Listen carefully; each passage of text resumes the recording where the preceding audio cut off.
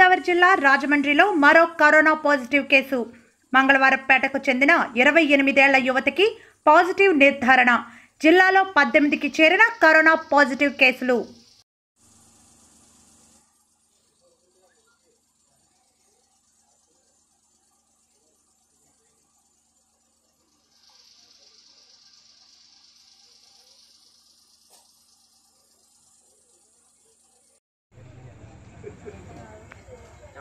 correct lighting పడుతుందిరా రెడీగా రెడీగా అయిపోయింది